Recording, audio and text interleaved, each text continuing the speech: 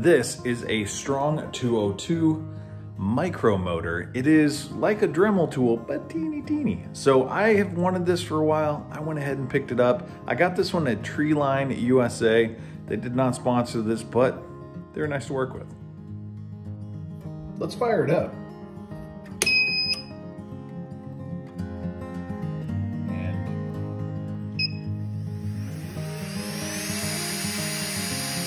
That is really quiet. I really want to carve something, so let's go for it.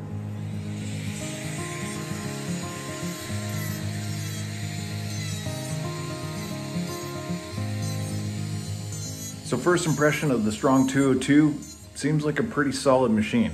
No vibration in hand, feels really good, and I can maneuver it around really easily. So we're gonna see in the long run how it holds up to the uh, definite use it's gonna get.